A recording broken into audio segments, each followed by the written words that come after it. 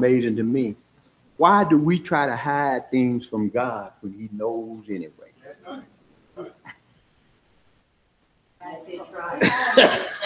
That's what I said. Try.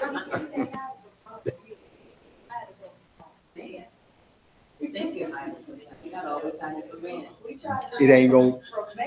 It ain't gonna be here way. The word said, "What into the light." So we need to stop trying to impress individuals and. But the, the Lord knew their thoughts, the intent of their. So he posed them. Did? By what authority did you cast out? Talking about. See, if I a Beelzebub, then I've defeated my purpose. So why don't go and destroy something that I already own? Huh? He can't gain souls by dividing himself. A house divided against itself cannot stand. There's always going to be turmoil. So what Jesus is saying, I if I cast them out by the Spirit of God, then the Spirit of God will come to you. But by what? spirit did you cast them out? He posed the question to him. He reversed this thing on them. Think we to how smart the Lord, he always knows. Yes. So he reversed this situation and he posed them a question. So by what power do you do the things that you do? Or is it just for self-gain? to be popular or to say that I'm a good person, that I did good for somebody? Or was it because God has been good to me? Now I will show mercy to my brothers.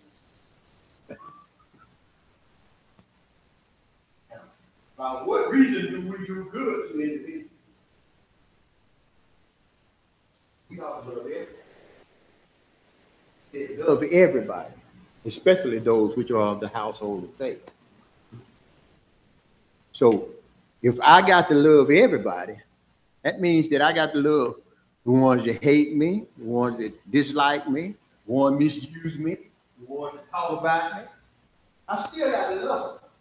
In spite of what they do to me, I still got to love those individuals, though.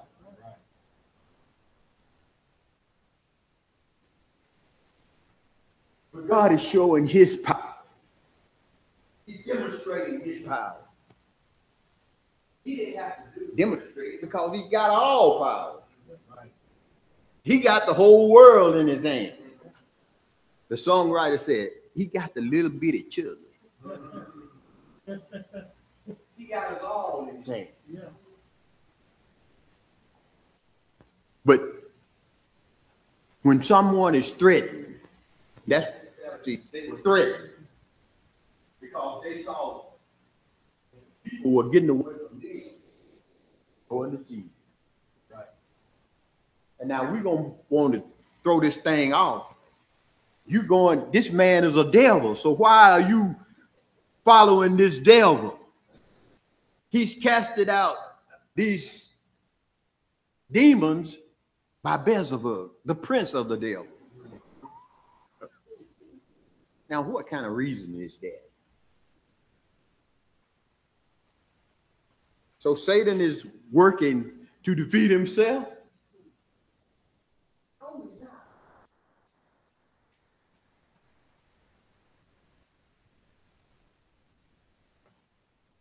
But God is telling us that we not we shouldn't be judges of individuals. That's what he's saying. When it, when someone do good, we should just take it as as, as we see it, as a good deed. Not because we're looking for something or asking for something, but because God has been good to me. He's blessed me, so I'm gonna bless somebody else. So he, we should share our blessings with others. That's what he's saying. As mm-hmm. Christians, we need to share our blessings. And it, it may not be given, but it may be just a kind word, a smile. We don't know.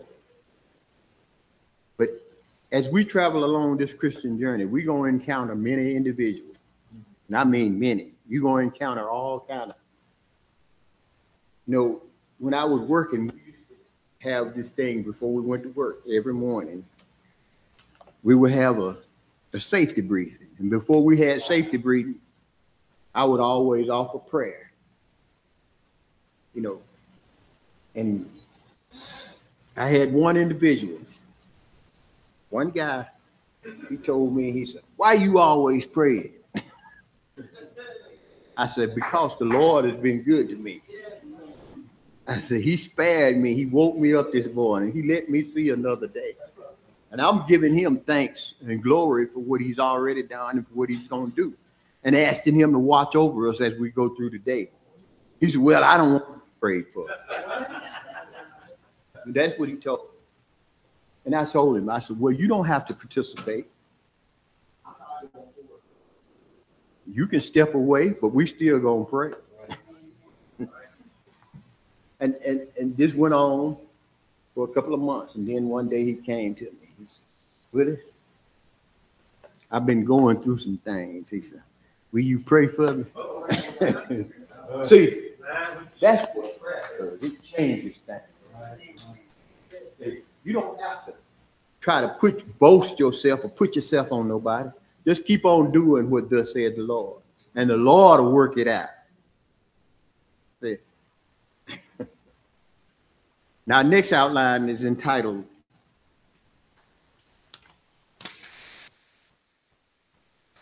"The Kingdom of Deliverance." And deliverance. And when we deliver somebody, that means we set them free. And the Lord has delivered us. He set us free. He's given us a new look on life. He's given us life. But without him, we don't have no life.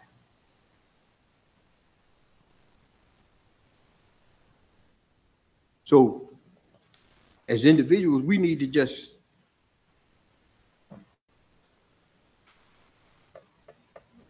Bible asks us, what did the Lord require of thee, O man?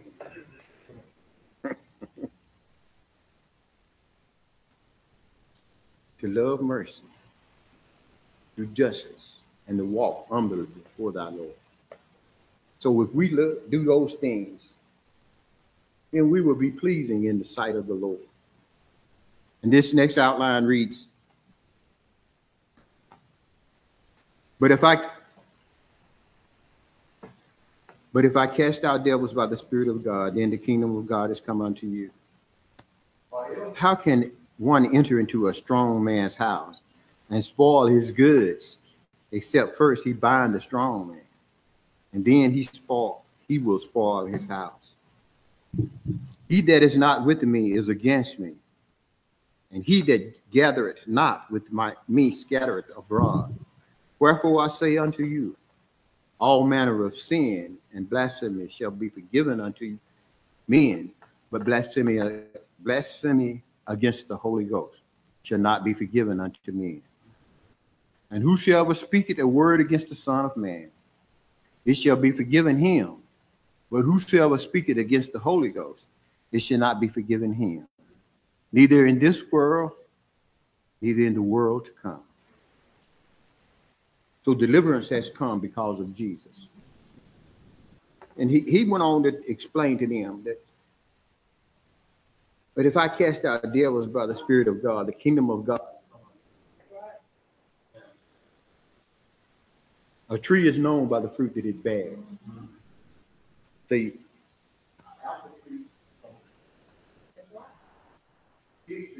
who's feed. But our apple tree is not going to bear pears no. or plums. So, whatever you are, you should be producing fruit. Right. Fruits of the Spirit love, joy, peace, long suffering. All these things. Those are what we should be producing. Now, Satan is trying to tell you, trying to tell you that I'm the prince I'm Beelzebub. I got all this. He will show you this beautiful picture. He'll paint you this beautiful. But Jesus is telling us, I am the way, the truth, and the life. Amen. No man coming unto the Father No man, no man. except by me. So if we want to be saved, then we got to have Jesus in our lives.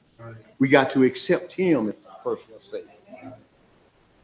We got to have an intimate relationship with him. Just like I have an intimate relationship with my wife. I have an intimate relationship with you. Right, right. I have to know him for myself. See, my daddy can't do it, but I got to know him for myself. I got to know that he is my Lord, my Savior, my Redeemer, my everything. Everything. To.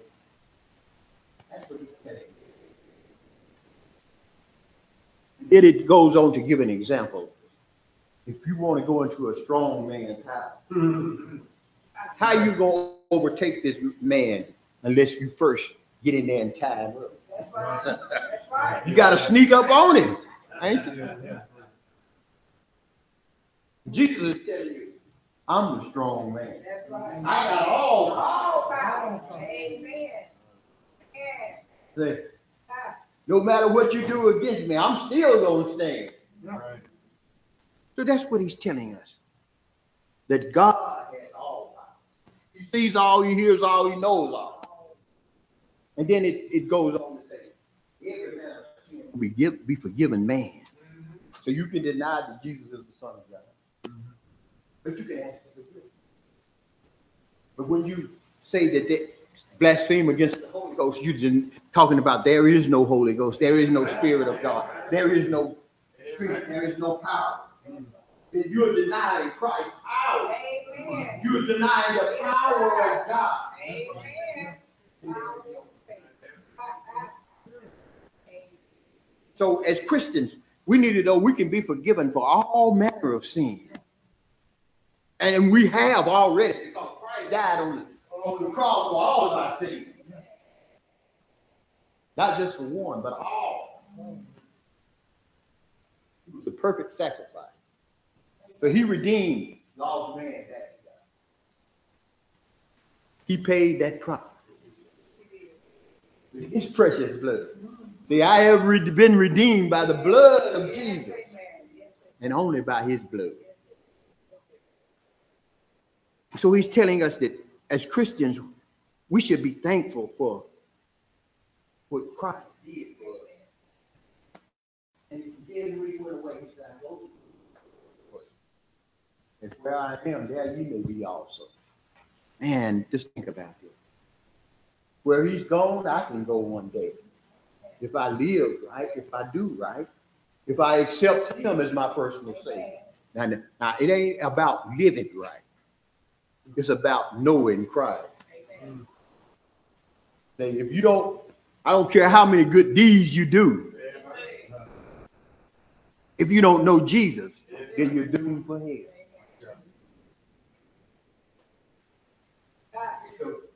It ain't about me doing good or good deeds. It's all about Jesus.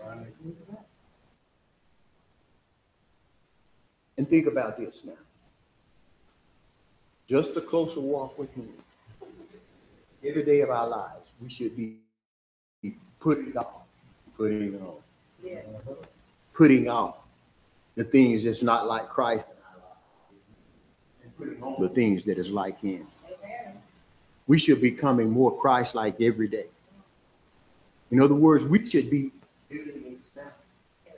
for Jesus here on this earth. We are to be the lights of the world. And he tells us to let your light so shine before men that they may see your good works and glorify your Father which is in heaven. So the Lord can't be glorified without him.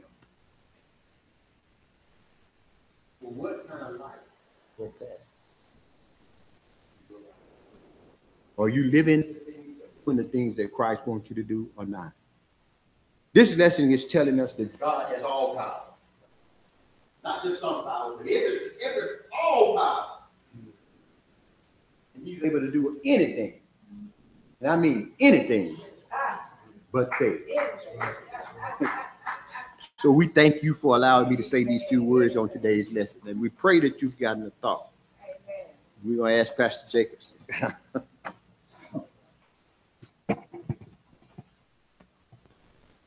Man, good morning, church family. Demonstration of power. Beautiful lesson that we have. You were in Bible study not too long ago. We're in this scripture and in the next Sunday school lesson, so we ought to be well prepared for next week.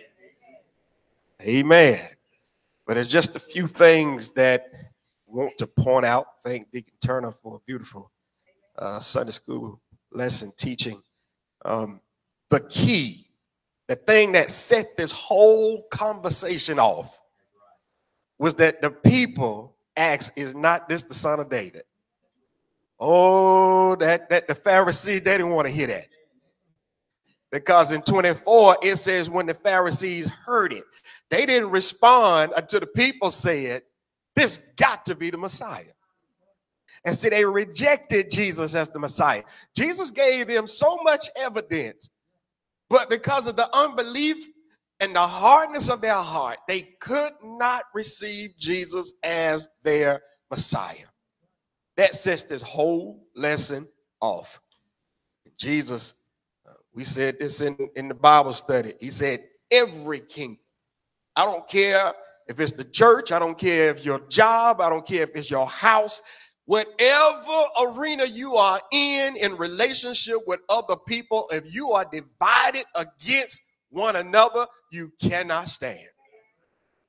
And I'm telling you, the devil does not want to see the end of his kingdom, but he knows it's coming. But while he has time to roam the earth, he does not want to see the destruction of his kingdom. He don't want anybody to hinder his work just as well as the church doesn't want anybody to hinder our works. We, we, we sang it. You don't want to go, amen, don't hinder me. So Jesus said, Why would the devil want to chop his own legs off? so, to the first outline, real quick, I just want to make this one statement. It is amazing how destructive pride is. Pride is so destructive. The Pharisees were so lifted up in pride. They loved themselves and they loved the praise of people so much that they rejected the truth of God in front of them. When you are lifted up in pride, you cannot be told anything. And you are unable to see the truth. So, in our second outline, verse number 28 is what Reverend Marshall told us last week the truth hurts. Because Jesus said, if I cast out devils by the Spirit of God, here's the truth. Then the kingdom of God has come to you. Truth hurts, doesn't it, Reverend Marsh? He told him, the truth is in front of you, but because it comes against your pride, your ego is hurt. You don't want to accept that the kingdom of God has come to you. And they should have heard what Jesus said and celebrated. Because the, the, the one thing that the spiritual leaders should have wanted was to be close to God. And Jesus says, God is close to you right now, but you still reject it. Right here. Right here with him. But you still reject it. Truth hurts to those that don't believe. So, verse number 30 Jesus doesn't leave any gray area. He says, if you're with me, you're gathering. If you're not with me, you're scattering. And what does Jeremiah 23 and 1 say? God says, Woe be unto the pastors of the shepherd that scatter the sheep of my pasture. So either you're with God or you're against God. You don't want to be found on the other side of that conversation. Either we're unifying the body of Christ or you're sending people running away from the presence of God. And this is what the Pharisees were doing. Jesus warned about this. Jesus says that they are running people away from the Lord. So do what they say, don't do what they do. Either you're with me or against me. Lastly, blasphemy against the Holy Ghost. Blasphemy simply means to curse or to speak evil of. That's why in verse 32, he says, Whoever speaks against the Holy Ghost, it won't be forgiven. What Jesus is telling the Pharisees is, You see my power, but yet you tell me that my power is evil, that I'm Beelzebub.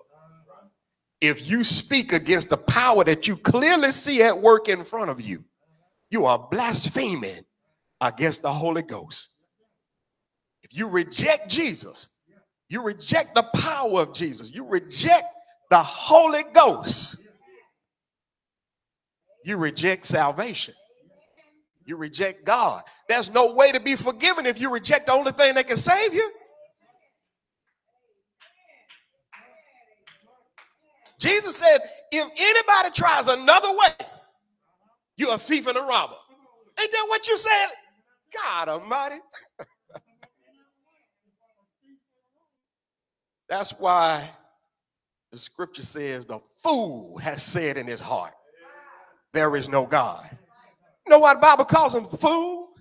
Because he got everything that you need to see to know that there's a God. Romans 1 and 20 says that everything that is invisible about God, you can see visibly in creation. So if you look at creation, but you reject the creator, Bible says you're a fool. It's ridiculous to have all this evidence and reject it. So Jesus says, You got all this evidence. You've been watching me heal, listening to me preach, and you still reject me. Thank you once again, Deacon Turner, for teaching us this morning. We thank you all for your participation and allowing me to say these few words.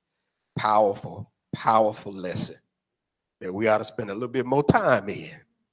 Amen. We're going to get ready to dismiss for afternoon worship service. Let's remember that God is a spirit. They that worship him must worship him in spirit and in truth.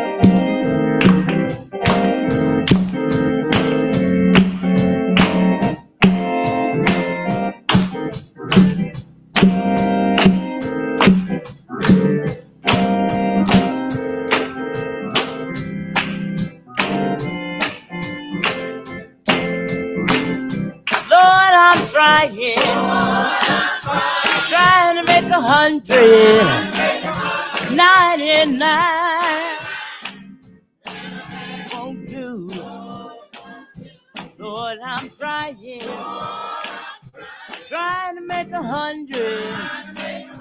Ninety-nine and a half. It won't do. Lord, I'm trying trying to make a hundred. Ninety-nine and a half won't do. Lord, I'm trying. Trying to make a hundred. Ninety-nine and a half. It won't do.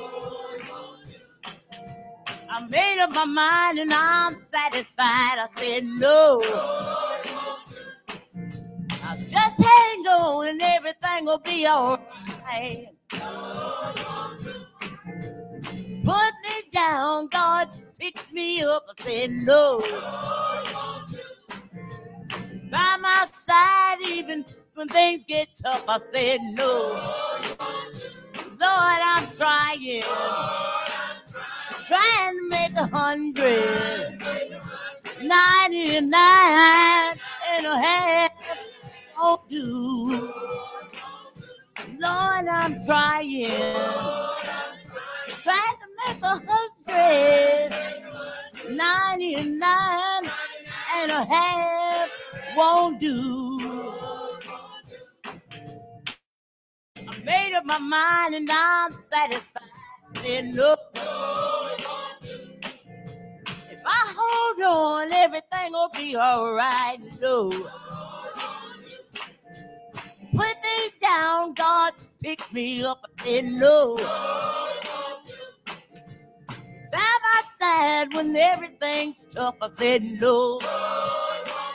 Oh, oh, oh, no.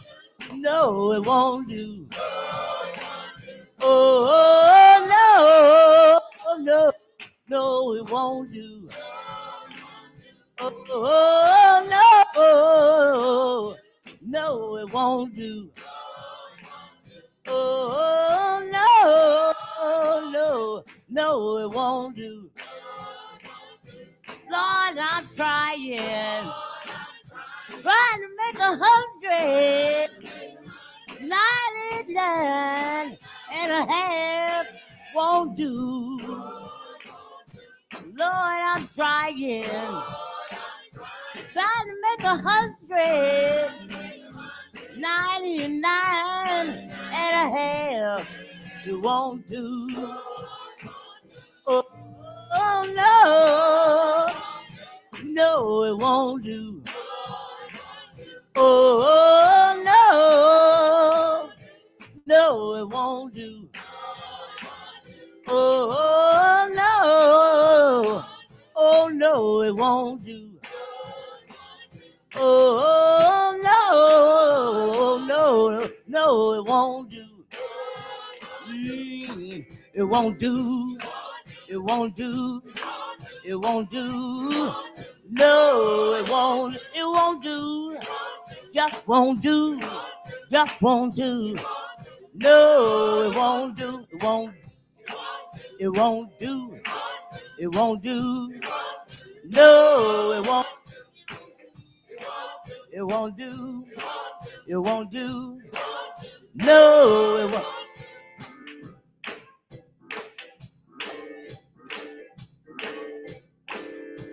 Lord, I'm trying, trying to make a hundred. Ninety-nine and a half won't do. Lord, try again. Trying to make a hundred. Ninety-nine and a half won't do. Won't do.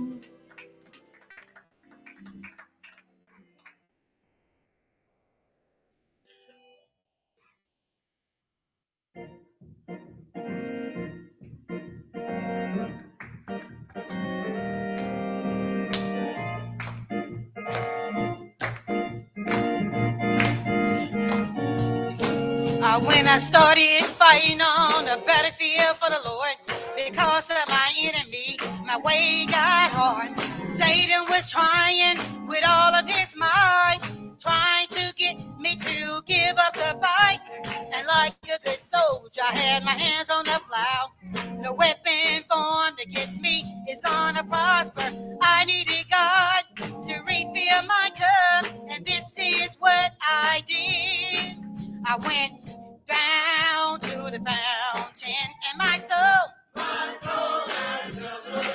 I went way down to the fountain. I like the woman at the well. I was searching and searching, looking for something to satisfy. I went down to the altar. I stayed right there. I knew that the Lord was soon answer my prayer. And like a Jacob, I rest and rested some more. I wouldn't let go until God blessed my soul. My feet got light. I began to run. I knew that my deliverance had come. I got happy, y'all, at the fountain And my soul. I got happy, y'all, at the fountain. Yes, I fill my cup, Lord. I lift it up, Lord. I fill my cup, Lord. I lift it up, Lord.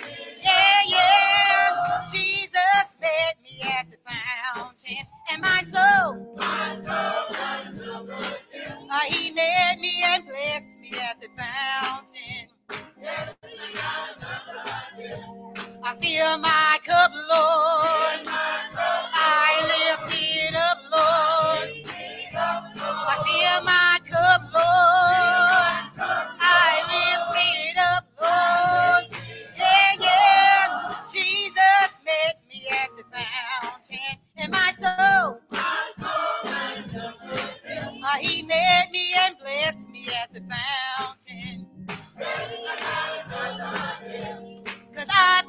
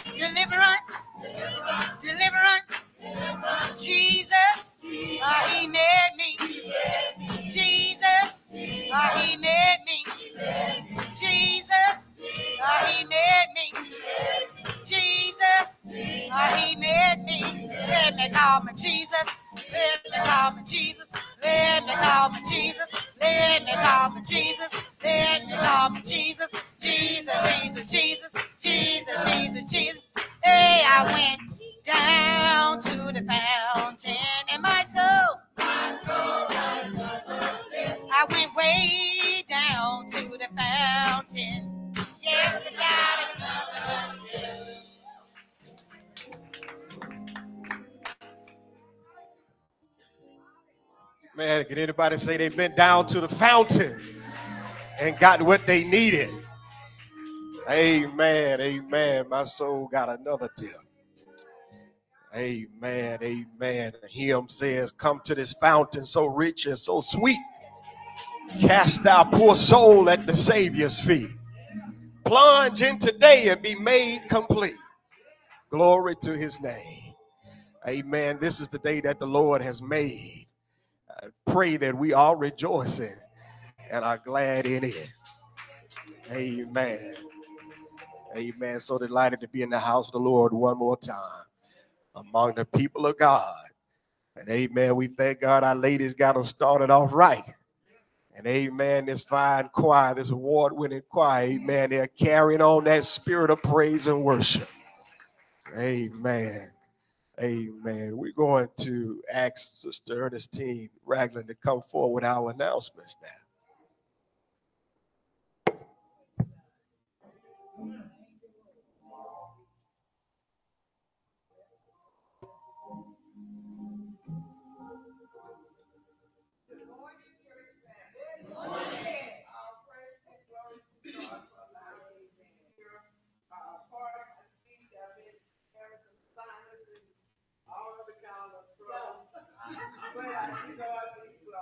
Yes. To our honor pastor and his family, to Reverend Marshall, in the absence of his wife, in the absence of his pastor.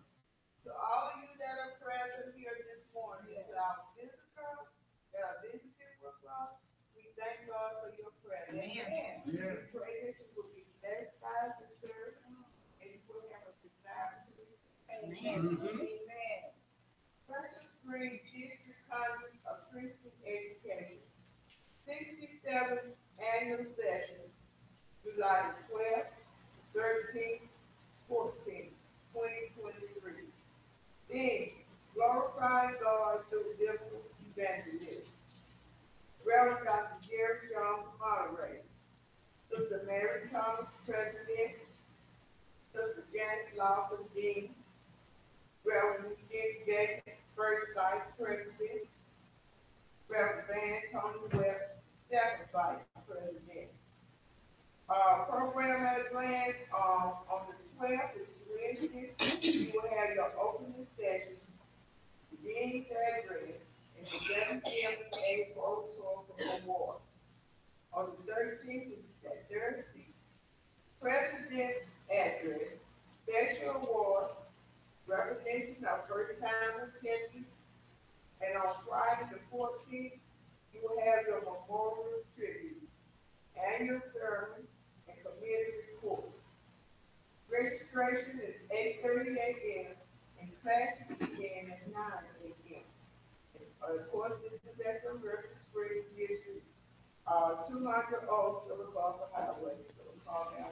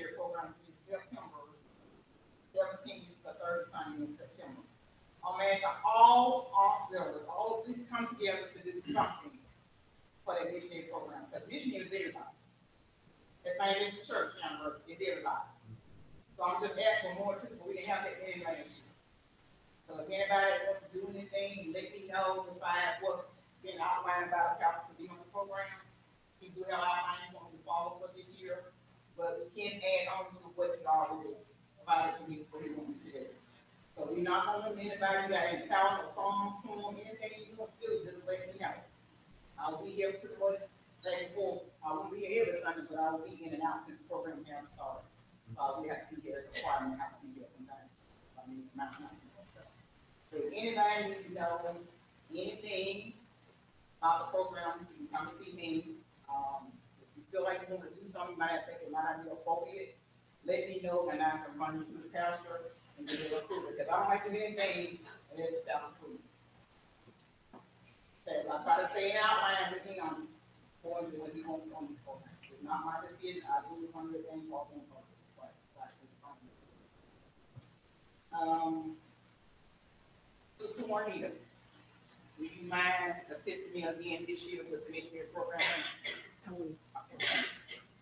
Um, down first, which is next, next month, and August will be the first time in August all October, if anybody plans anything for the pastor, please let me know. And we want everything lined up, not laying around like we did last year, if we possibly can, so let me a little organized and, you tell you everything down, to do. If you got kids doing anything, please let me know. So we can have that outline done, so I know what I need to do on my end to help support you all on that as well.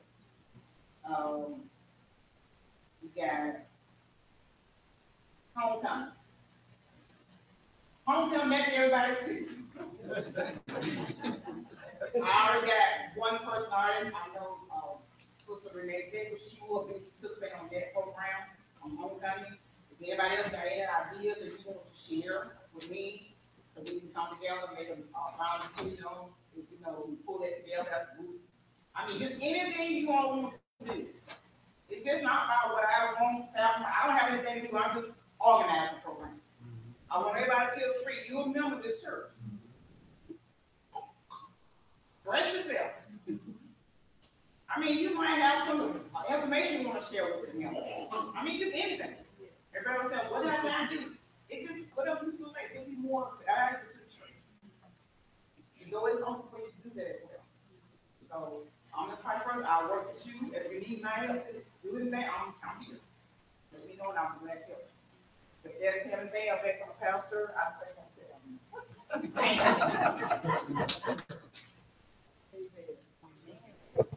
Thank you, Sister Celeste and Sister Ernestine. And once again, good morning, church family. Amen. As we are preparing for our church anniversary, Uh, if you haven't seen it on the board already, or heard the announcement, Pastor Robert Duncan from Mountain Home Baptist Church in Sycamore, he's coming. Very familiar with Union Springs. He said that this is the first place that uh, he preached when he got called to preach. Pastor Turner was very instrumental in his ministry coming up, and and and we are delighted to have him in his church family to come and to celebrate with us. Uh, Reverend Thompson, he had been here in a while. He'll be here on that morning. Uh, now, before that day on Saturday, me and uh, remember we discussed we want to come out. We want to have a cleanup day. We're going to clean inside and outside on Saturday. You can be here at 8 o'clock a.m. on Saturday morning. Uh, we want to uh, go ahead and knock out what we got to do before it really gets hot. Amen. And I believe we can get it done in an hour or two if we have enough people to participate. Amen. Uh, to piggyback on the Congress of Christian Education, those who have the uh, ability to get online, you can look up Russian Springs District Association on Google. It'll take you straight to the website. And on the website, you'll see the announcement for Congress right there at the home page. And you're able to register online to keep some of that time that we spend so much when we get to the district doing registration when we get there. And we could go ahead and get into classes. And you're also letting the staff know how many people are going to be in their classes. I'll be teaching an evening class uh, this year again on reaching Generation Z but they have something for everyone. So if you're able to go, uh, please uh, go and support. We have a wonderful time down in our Congress. And if we need the van to go, we'll have somebody, somebody be able to drive. If I got to drive it myself, we want to make sure you're able to get down there. Amen. Amen. And then lastly, uh, you may think your graduates have been overlooked, but they have not. We have not given our graduates uh, little blessing that we usually do. So need to make sure that you have all the names in if they graduated whatever level that they graduated. Need to go back and make sure we take care of our graduates. So uh, make sure you get us those names. We have uh, we have those who are over our youth departments. Deacon and Sister Hunter, uh, Deacon Jennings is over the Crusader. We got Sister Regina. We got, we got our deacons. We got myself. Make sure you get the names in so we can get it together and we can take care of your graduate. Amen. Amen. Now I believe it's getting close to preaching time. And y'all know Reverend Marshall gonna say good morning, and we're gonna get one more soul stirring song from this award winning choir. Amen. Amen. Let church say, amen. Amen. One more time.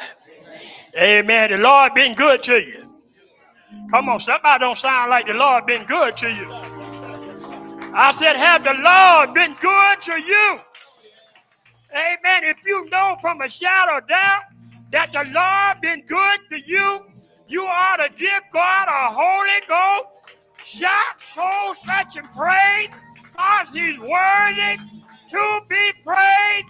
Anybody in here ready to praise Him? When the praises goes up, the blessing of God will surely come down. Oh, the Lord is good. Amen. Watch over you up and down that dangerous highway and byway. And you're going to sit like the Lord hasn't done you any good. I beg you different. Amen. Come on, give him a wave offering right quick. Come on, give him, if you don't want to stand, give him a wave off. Amen. He's worthy. I said he's worthy to be praised. Can I get somebody to say hallelujah? Come on, can I wake somebody up? Hallelujah. Oh, you think you having a good time right now, but wait till you get up there. Oh, down here is just a rehearsal. But when I get to heaven, I'm going to shout glory all day long because I want to hear him call my name. I want to hear him say, Well done, thy good and faithful servant. Thou been faithful over a few things, but come on up to praise glory.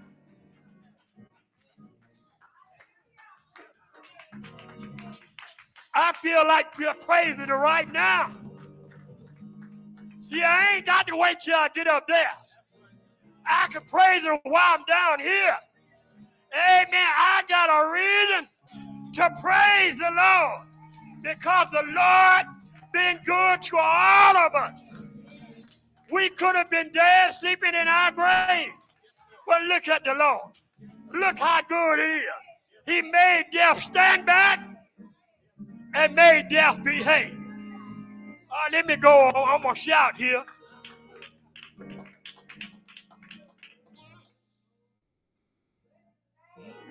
Amen. I like to introduce the psalm and present to others. The proud and humble pastor of the Union Spring Missionary Baptist Church. Amen. Before you come, before the choir come, let us elevate our right hand and say, Pastor Jacob, preach the word. Pastor Jacob, preach, preach, preach, preach, preach. Amen. As the choir comes in their own way, in next voice after the choir, I give you our beloved pastor. I give you Pastor Jacob.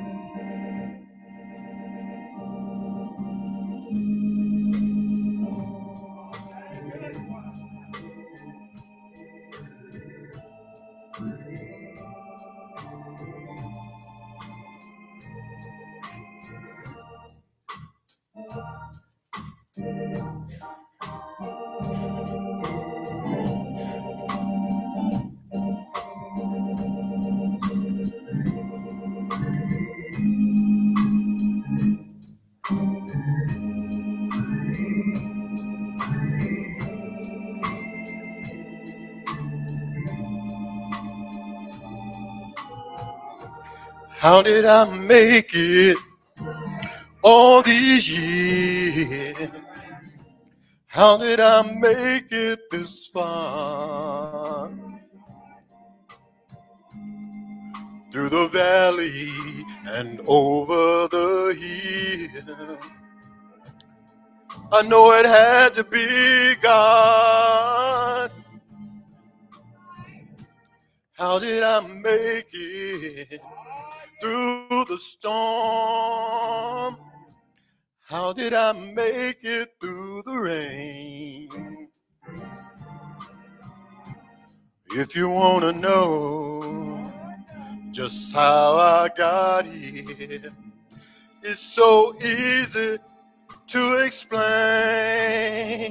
It was God's grace. God's grace. God's grace. God's grace. God's grace I made it this far by the grace.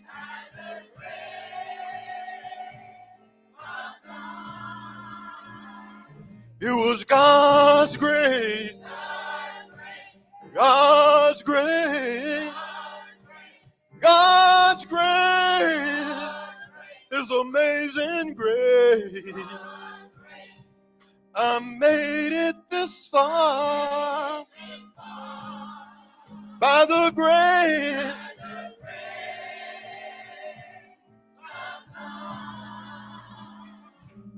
Lord, I thank you for how you brought me, yeah. How you brought me through the night. Lord, you kept me and you never left me. You stood by my side. There were so many times when I came so close. Oh man, death tried to take me in. But the reason I'm here is not hard for me to see.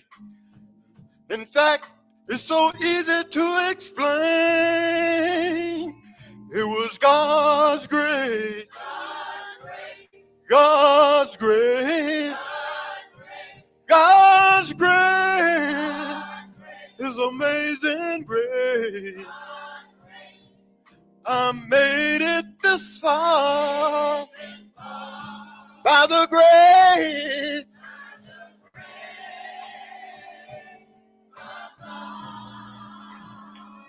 I remember the time when I strayed away. Even though I knew your way, Lord, I still didn't obey. But God's mercy and His grace pure. By the grace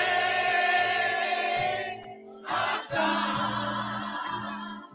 Anybody wanna know just how I got here? Anybody wanna know how I'm still standing? I made it this far by the grace.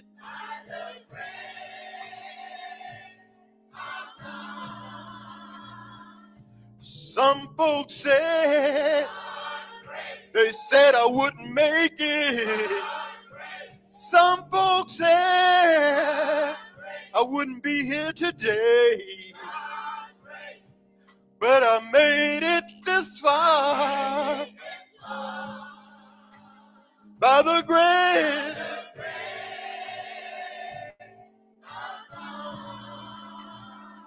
When I sit down and look back down through the years, I had to shed so many tears. But I made it this far by the grace.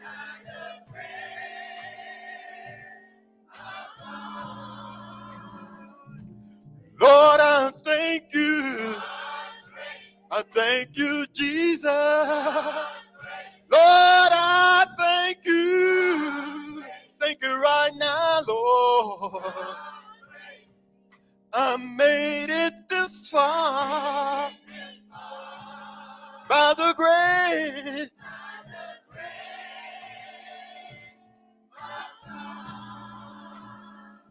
It was God's grace. God's grace.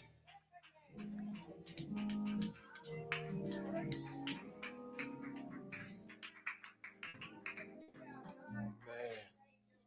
Anybody know anything about God's grace? Man. Amen. When you know who you are, you'll know something about grace. Amen. I know I wouldn't have made it except by God's grace.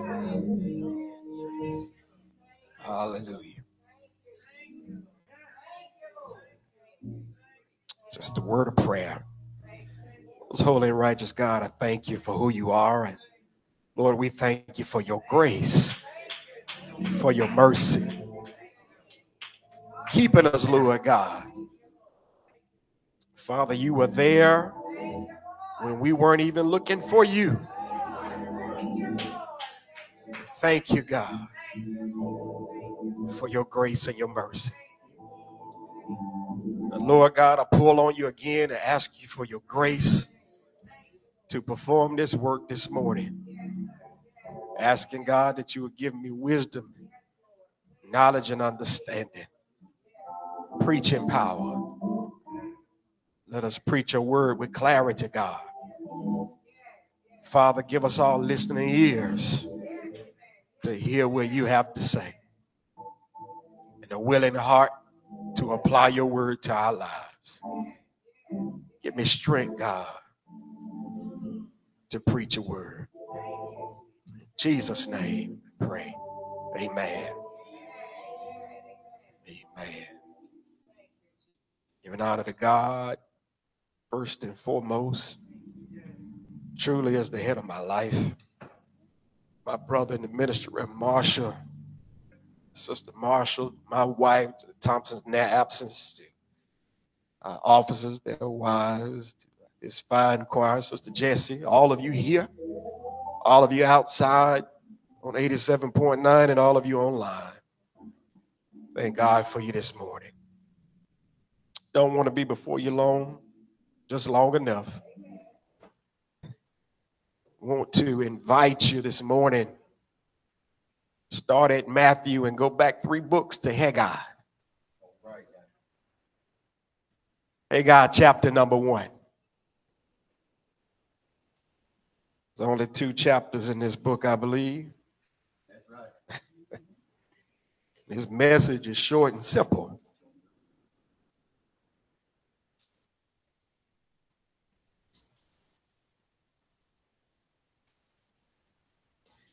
Haggai, chapter number one.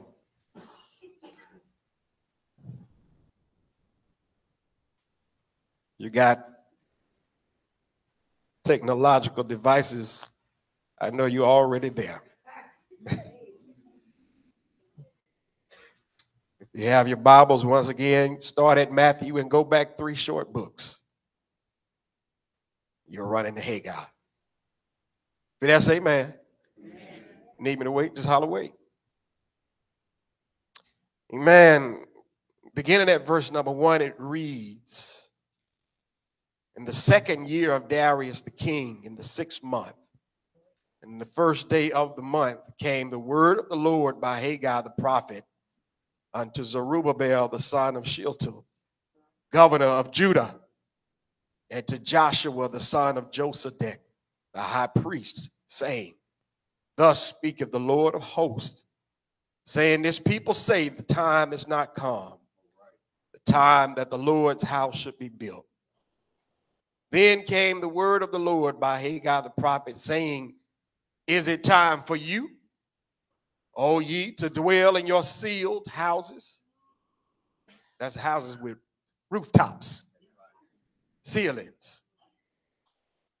And this house lie waste now, therefore, thus saith the Lord of hosts, consider your ways. Ye have sown much, bring in little. Ye eat, but ye have not enough. You drink, but ye are not filled with drink. He clothe you, but there is none warm. He that earneth wages, earneth wages to put it into a bag with holes. I know about that. Thus saith the Lord of hosts, consider your ways. Last verse go up to the mountain, verse 8, and bring wood, build the house. I will take pleasure in it. I will be glorified, saith the Lord. Thank you for honoring the word of God, whether you stand or sit. I want to prelude our church anniversary by telling us it's time to build God's house. It's time to build God's house. You might look around and say it's already built. That's not what I'm talking about. It's time to build God's house. During the time that Haggai prophesied to Zerubbabel and the people of Judah, God had blessed them with favor to rebuild the temple. Nehemiah had been commissioned to build the wall around Jerusalem, and he was given favor. So was Zerubbabel given favor to have the supplies and the support that he needed to build God's temple. However, in Ezra chapter number four, the adversaries of Judah and Benjamin they pressed hard on the people, trying to get them to stop working. As a matter of fact, they came to Zerubbabel and they said, We want to help you out. And Zerubbabel said, We don't need your help. And so what they did is they went to the king and they said, These people in Judah, They are trying to rebel against you. They, they built up a wall, they built the temple, and they're not going to pay your taxes. They're not going to honor you. They are going to wage war against you. And the king sent a letter that, that basically said that you need to stop building until I can investigate. So they stopped building. As time went on, the people stopped looking for permission to build the temple. They began to settle. And pretty soon after settling, they began to make excuses. My goodness. I was reading, there's a quote from Benjamin Franklin, and he said, Anybody that's good at making excuses is not good at doing much else. It does. this text gives us a historical account about a specific people at a specific place and at a specific time. However, since all scripture was breathed by God, amen, to perfect us so that we may be thoroughly furnished, there's something for us to learn from this account. God's house is still here. And it may not be what you think it is. There is some major construction to be done in God's house. But like the Jews, there's a lot of settling. And there's a lot of excuses being tossed back and forth for why we are not building God's house. I want to learn a few things from the Jews in this text First thing that I want to give you as I hurry on is that complacency breeds contempt. Complacency breeds contempt. Complacency is being satisfied with where you are with no intent to progress. In simple terms, you stuck where you are and you don't feel like you need to go anywhere else. I believe that a lot in the local churches today, we are stuck in a way and we refuse to see the road ahead of us and we're not progressing because we're satisfied. We're going through the motions. Contempt is a feeling that a person or a thing is beneath consideration, worthless, or deserving scorn. So when I say complacency breeds contempt, what I mean is that the Jews got to a place where they were satisfied with being stuck to the point where they didn't think they were stuck. They were satisfied, and in their satisfaction, they didn't see a need to build God's temple. They began to build their own houses. There are three stages of contempt, which is again not considering what you should. Number one, there's procrastination. Procrastination means you're wasting time. You're sitting. What happened in this stage in verse number two, the people said the time is not come. So they procrastinated because they were waiting, bless you, on King Darius to send a letter giving them permission to build. But guess what? God had already given them permission to build. Haggai had to remind the people God has already told you what to do. But you let a man stop you from doing what God gave you the green light to do. So you began to procrastinate.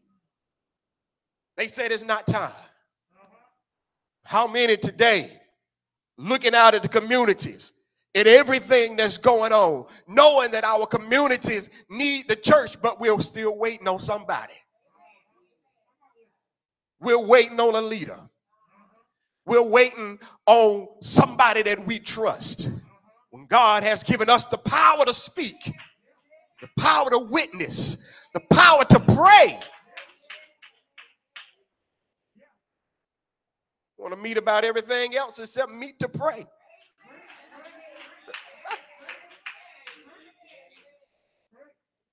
We procrastinate, waiting on somebody to give us the permission to go, waiting to follow somebody else. But God has empowered you to turn this world upside down.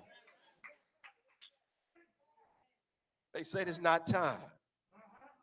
Second stage in contempt is excuse making. It is not time became the excuse.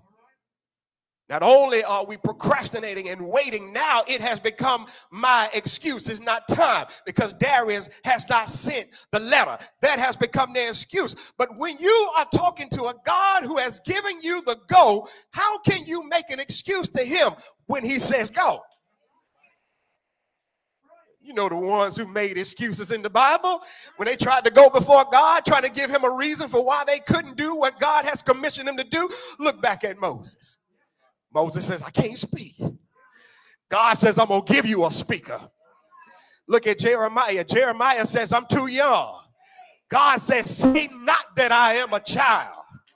Look at Isaiah, Isaiah chapter number six. Isaiah says, I'm a man of unclean lips, and I come from a people of unclean lips. But God sent a cherub to take a, a, a coal from off the altar and purify his lips. And then God says, Who will go for me? Isaiah says, Here am I. Send me. I'm trying to tell you is that when God has empowered you, there's no excuse to not do what God has empowered you to do.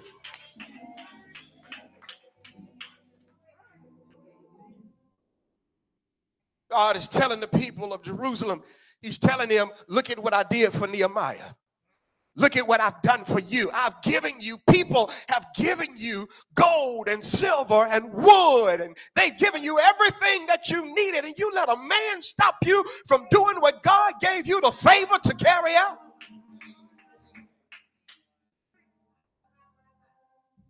Excuse making. When you procrastinate, you begin to make excuses. And when you're making excuses, you're trying to convince yourself of the lie that the devil is trying to sow into your mind. Third stage of contempt is self centeredness. Ah, they said the time has not come. The time that the Lord's house should be built. And God sent back a message, and I like it because he got sarcastic with him. He said, Is it time for you to build your houses with your ceilings? You won't build my house. Is it time for you to build your house with ceilings? You can't live in a tent. You, you need a rooftop now. You need a porch. You need a swing out there on the tree. Is it time for you? What happens to us when we procrastinate? We begin to get lazy. When we get lazy, we make excuses for why we can't do what we actually can do. When we get lazy and we procrastinate and we make excuses, then we start thinking about me. I don't feel like it. And we'll do anything that we feel like doing.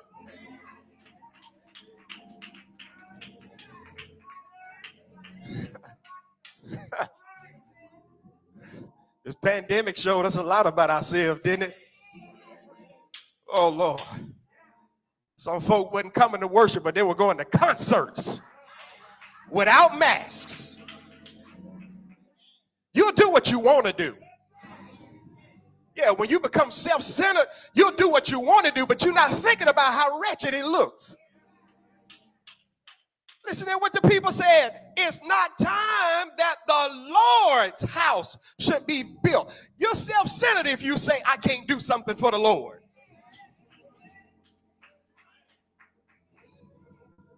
That's when contempt, that's when contempt is made perfect in your spirit. Because now, because you're focused on you and you've gotten lazy and you've wasted time, now you can't focus on God or God's purposes in your life. Ah, complacency breeds contempt. Secondly, you can never prosper focusing on the wrong house. People had contempt for God. I believe in their heart they, they really wanted to be God's people. They, they wanted to please God. But when you get in a place of contempt, your heart is changed to where you see only you. Then you begin to build your own house, your own kingdom.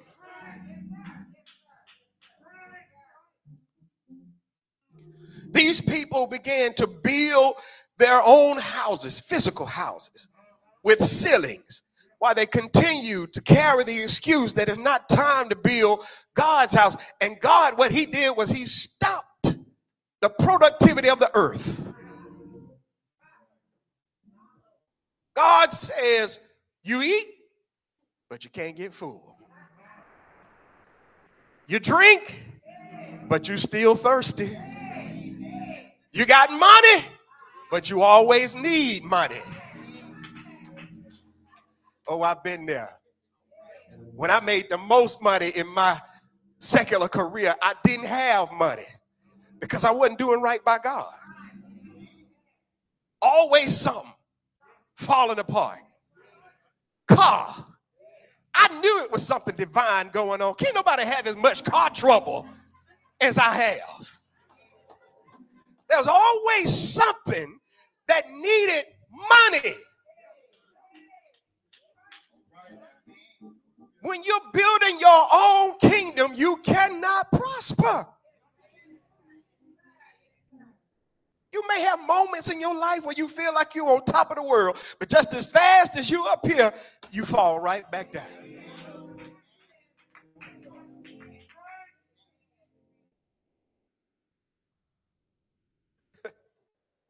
When we're focused on the wrong house, we cannot prosper.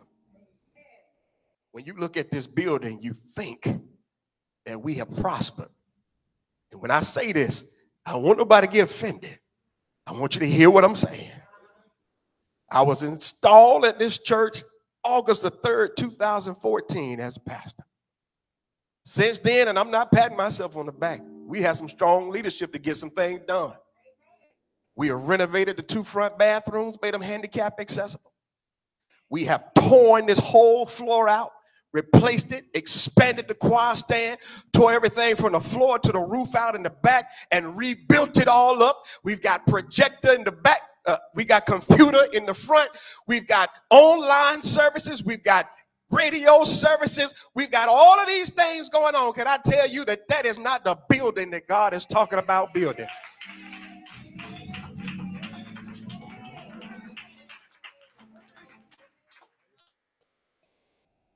See, the problem is when we focus on just this building, we can't be prosperous. We, we focus on this building and we think because we put so much work in this building, everybody ought to want to come to this building, right? This is not the church. We are the church. And this building is supposed to go out and focus on building God's house.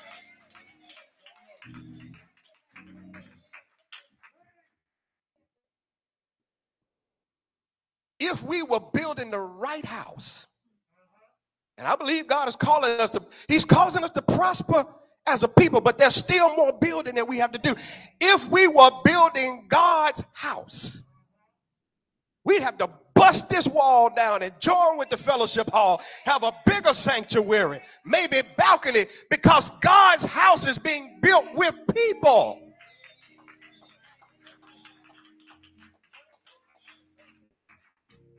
We got a gorgeous building. I'm proud of it. Every time I walk in here, I feel good because of what y'all were able to accomplish and to pay for. But this is not the building we're supposed to be focused on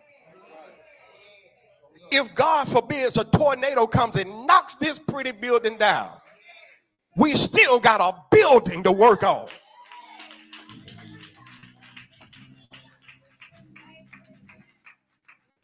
If at the fault lines of Alabama, the earth began to quake and the ground opened and swallowed this building where we couldn't build on this land again, we still got work to do.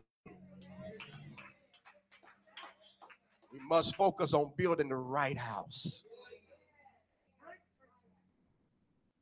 Tell you what the right house is, is my last point. We must focus on God's house. Looking back at the text, God tells the people to build his temple. So then we've got to understand what God's temple actually represented. What did the temple represent? Was it just a building? Was it just a place of worship? No. God's temple represented God's presence among his people. And since Adam fell, God desired to dwell among his people. But something kept the holy God from communing with sinful man. That's why he said, Your sin has separated you from me. God's temple represented God's presence or paving the way for God's presence to interact with his people. The temple represented reconciliation. And when I say reconciliation, it represented grace and mercy. Because the temple was ordained by God under law. This is how you atone for your sin. God didn't make another way for sin to be atoned for except blood be shed by the hands of priests at the temple. As long as there was no temple, there was no atonement because there was no obedience to God's law. That's why I challenge every person who is, is a non believer of Jesus today even if you pick up the Old Testament, you can't change God's law. Jesus said, I didn't come to change God's law, He came to fulfill it. So the temple represented grace and mercy and paving the way for God's presence. Haggai 2 and 14, God says, everything you're doing is unclean whole nation was out of whack because the temple was not there. Because there was no atonement for their sin. Because there was no atonement, God said, I don't care if you got zeal in your heart and you really love me with all your emotion, but your hands are still unclean. The temple represented the cleansing of God's people. And we don't give that enough credit because having the cleansing, the atonement of God means you've got relationship with him. And so often we try to jump over that blessing to because I have a relationship. I got healing power, I got saving power, I got money, I got this, I got that. No, no, no, no. You got relationship. That temple represented relationship. It represented Jehovah Nisi. Because when everybody else knew that that temple was there and the, the, animals were being killed and the relationship between God and his people were restored, they knew they couldn't stop Israel.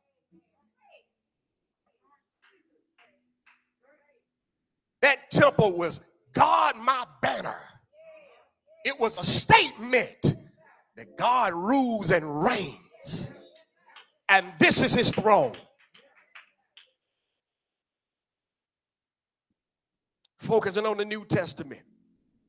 Hebrews 4 and 16 says, Let us therefore come boldly unto the throne of grace, that we may obtain mercy and find grace to help in the time of need.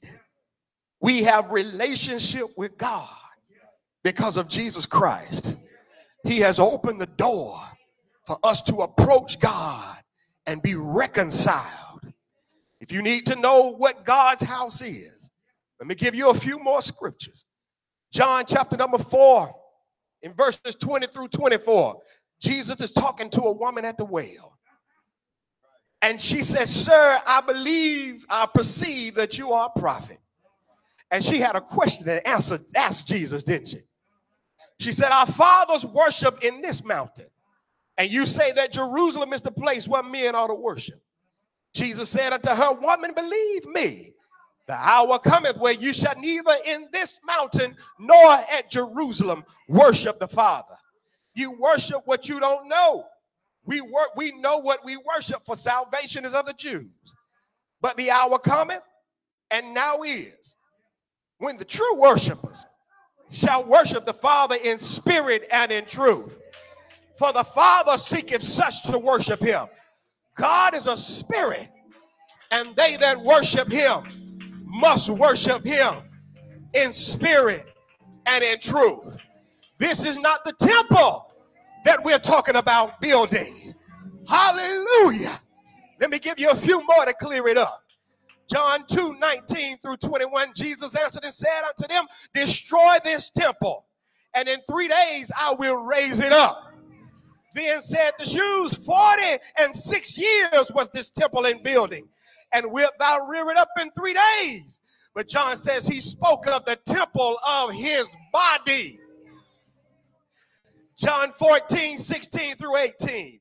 And I will pray the Father, and he will give you another comforter, that he may abide with you forever. Even the Spirit of truth, whom the world cannot receive, because it seeth him not, neither knoweth him, but you know him, for he dwelleth with you and shall be in you. I will not leave you comfortless. I will come to you. If you still don't know what I'm talking about, First Corinthians 6 and 19, what? Know ye not that your body is the temple of the Holy Ghost, which is in you, which you have of God, and you are not your own. You are the temple of God. Hallelujah. But then there's another temple. First Peter 2 and 5, you also as lively stones are built up a spiritual house a holy priesthood to offer up spiritual sacrifices acceptable to God by Jesus Christ. So, if you want to answer the question, how do we build God's temple? How does building God's house look for us? Here, and I'm done, is the primary point of this, this, this message connecting with God. The temple was the place where God's people connected with Him. In our personal lives, it is us seeking a connection and staying connected with Him.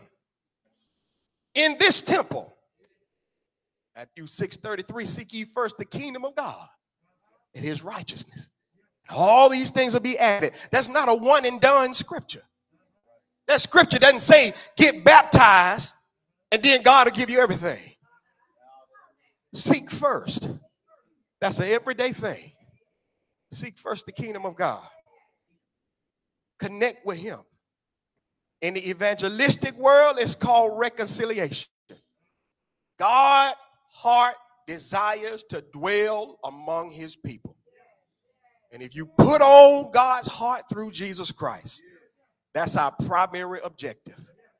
Not only do we seek to reside in his presence for ourselves, but we desire for other people to reside in the presence of God. To build God's house is to restore the lost back to him. It is past time to build God's house.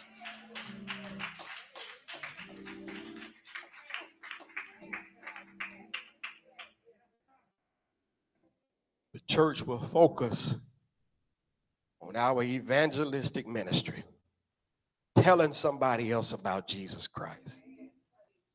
We're building God's house. At the end of the day, He's not going to ask us what you do with this brick and mortar. He'll ask us, what did you do with this temple? And what did you do to build my house? Maybe somebody who does not know Jesus. You can be a part of his house right now. We, the church, we are called the body of Christ. And you can be a part of this body. If you'll do what Romans 10 9 and 10 says, if you will confess with your mouth the Lord Jesus, believe in your heart that God has raised him from the dead, you shall be saved. You say, How? With the heart, you believe. God takes your faith and makes you righteous.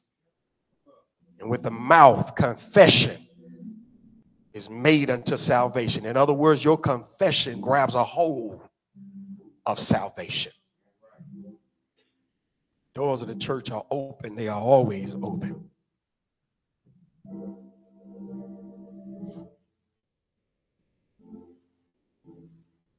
Coming up on this church anniversary, we're going to continue to have anniversaries. We got to build God's house. Maybe here the Holy Spirit has pricked your heart to join with this ministry. Want you in the body of Christ first and foremost. Secondly, we would love to have you in our family. So we need workers, we need people who are willing.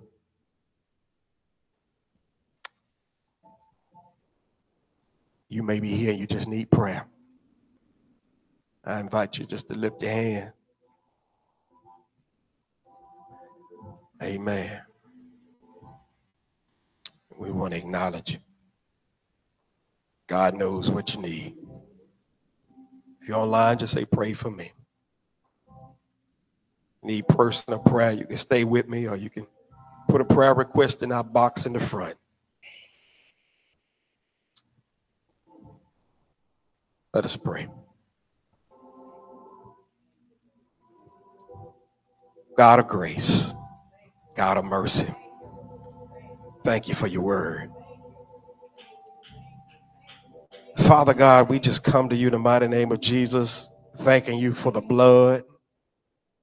Thank you, Father God, that you loved us so much that you sent your son to die on the cross for us. But he got up on the third day and your word says the same spirit that raised up Jesus, he dwells in your believers. And he will raise us up at the last day. Thank you for your promises, Lord. Father God, we thank you for what we've been able to accomplish as a body. Thank you for what you blessed us to accomplish with this brick and mortar building. Father, I ask you, Lord, that you would equip us and that you would touch our hearts that we may build on your house, adding to your kingdom. Because, Lord, you desire to dwell among your people. As sinful as we can be, you still desire to dwell among us and to show us your love. Let us be about your work, Father, in the name of Jesus. Father, there are many who have asked for prayer this morning, whether they raise their hands or not. Lord, you know what they need. Father, there's someone going to the doctor this week. And I'm praying, Lord God, that you would just touch them, Father. That you strengthen them. That you beat the doctor to their healing as someone, Father God, who's dealing with sickness in their body right now. Father, I pray for healing. Father, there's someone who needs help in their home, whether it be spouse, whether it be children, whether it be divorce, whatever it may be, Lord, I pray that you help them, Lord. Someone that's lonely, someone depressed, someone struggling in any other way, Lord, Father, you got the answer to every problem.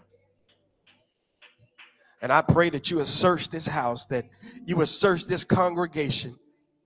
Father, even online, God, you know what they need, Father. And it's not by my prayer, but it's by your answer that the power comes. I pray that you answer prayer, Lord, even as we speak right now. God, there are those who are not with us right now, who are not able to speak for themselves, laying in a bed or sitting on some couch in their home right now, Lord, especially those who are elders, Lord. Father, I ask that you see about them, God, in the name of Jesus. Lord, I pray for that lost soul that needs to know you. I pray that you use your servant to lay out your word that they can understand. Father, that they be compelled to give their life to you right now. That, Father, as we get ready to go to our various destinations, we know that you're able to keep us safe in your traveling grace. I pray that you will be with us. And Lord, be with us as we go this week. Now, Lord God, may the grace of our Lord and Savior Jesus Christ, the sweet communion of his Holy Spirit, rest, ruling about on each one of us from this time and forevermore. Let us all say amen. Amen. God bless you this week.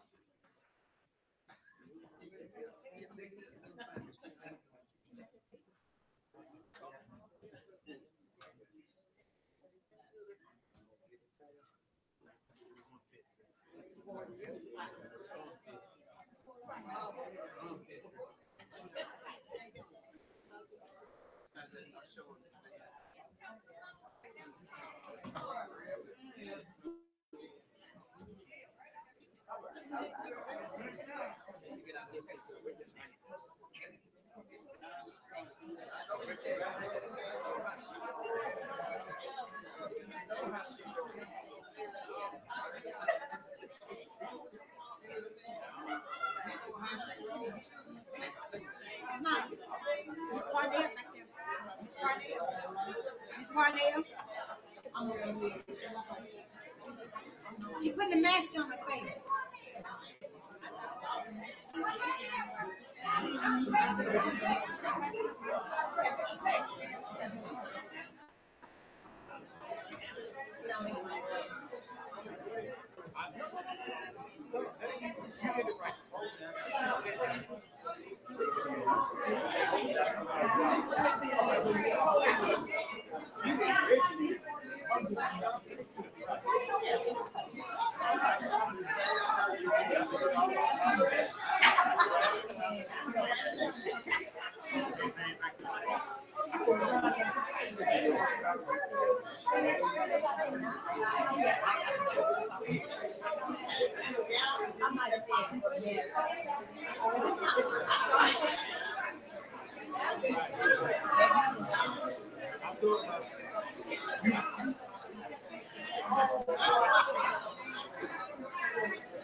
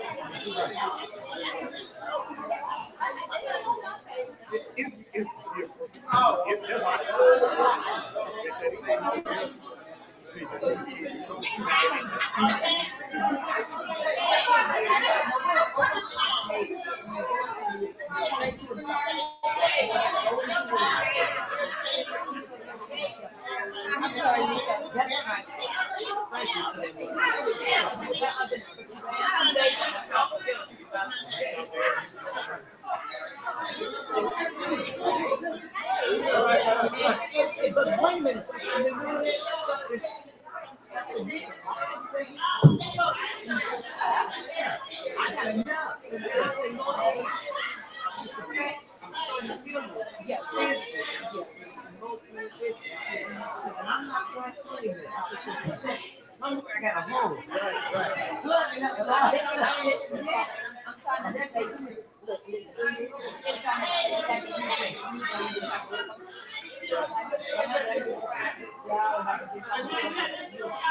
stay true.